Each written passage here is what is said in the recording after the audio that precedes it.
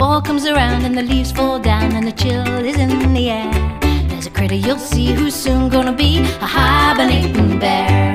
In a hungry mood, she scarfs down food till she has a lot of fat to spare, which her body will use.